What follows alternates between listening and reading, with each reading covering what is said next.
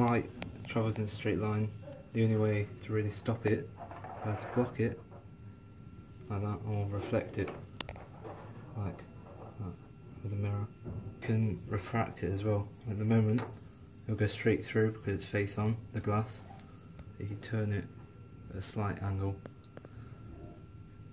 the light will bend as it goes into denser parts of the glass and then comes out and goes and goes straight again.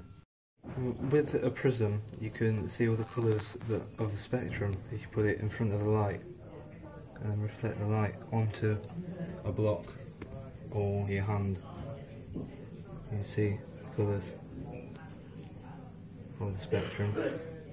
With a um, converging lens, you can find the focal point of the light by placing it in front of the light. The bit where all all the parallel beams of light meet is the focal point.